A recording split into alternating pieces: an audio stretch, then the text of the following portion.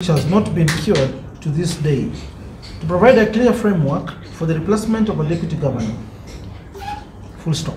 This is a position the Senate concurred with when I appeared before the Senate Committee on Devolution and Intergovernmental Relations in April 2019. Since then, the Senate found necessity to embark on the amendment of the County Government Act to cure this lacuna. The bill is currently before the Mediation Committee of the Senate and the National Assembly and is yet to become law. The last page.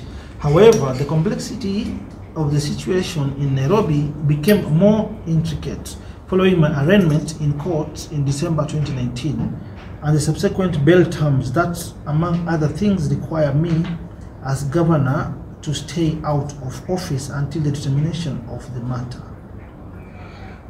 Given the foregoing, and in the interests of ensuring stability at Kenya's capital city and the largest county by economy and population, I do, uh, I do hereby nominate dash dash dash ah. to the position of deputy ah. to the position of deputy governor. Tom discuss to say to the position of deputy governor. This decision is in line with Article 180 sub Article 5 of the Constitution of Kenya and the Supreme Court advisory of March 2018. I therefore humbly urge the Assembly to expedite the vetting process.